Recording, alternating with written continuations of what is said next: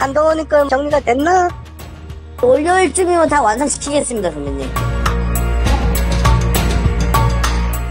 이쪽에서도 이제 네거티브 때문에 엑스파일이든 뭐든 좀 찾고 있으니까 뭔가 좀 정리해가지고 하나의 리포트 형태로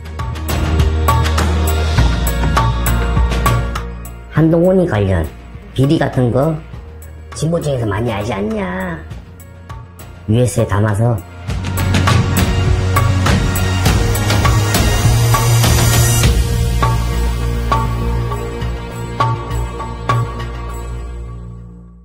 기다리고 있어. 내가 곧 출발할게.